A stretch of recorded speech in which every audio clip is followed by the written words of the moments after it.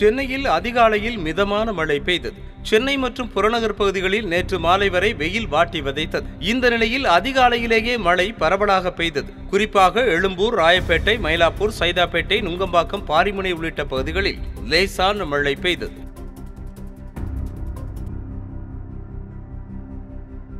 மதுரை மாநகரில் இரவில் இரண்டு மணி நேரத்திற்கு மேலாக கொட்டி தீர்த்த கனமழையால் சாலைகளில் மழைநீர் பெருக்கெடுத்து ஓடியது. மாவட்ட ஆட்சியர் அலுவலகம் ஆரப்பாளையம் ஜெயின்புரம் சிம்மக்கல் தல்லாகுளம் அண்ணாநகர் நரிமேடு மாட்டுத்தாவணி பேருந்து நிலையம் அனுப்பானடி தெப்பக்குளம் உள்ளிட்ட பல்வேறு பகுதிகளிலும் கனமழை பெய்தது.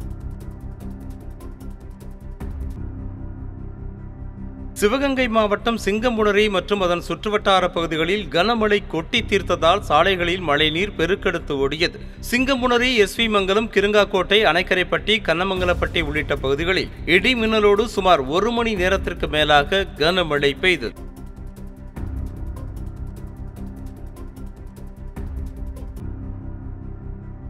சென்னை அடுத்த தாம்பரம் மற்றும் அதன் சுற்றுவட்டார பகுதிகளில் மிதமான மழை பெய்தது. தமிழ்நாட்டில் வடகிழக்கு பருவமழை தொடங்கிய நிலையில் ஆங்காங்கே லேசாக மழை பெய்ய தொடங்கியுள்ளது. இந்த நிலையில் குரோம்பேட்டை பல்லாவரம் தாம்பரம் பெருங்களத்தூர் வண்டலூர் சேலையூர் முடிச்சூர் உள்ளிட்ட பகுதிகளில் மிதமான மழை பெய்தது. செய்திகளை உடனுக்குடனும் துல்லியமாகவும் தெரிந்து கொள்ள சப்ஸ்கிரைப் பண்ணுங்க.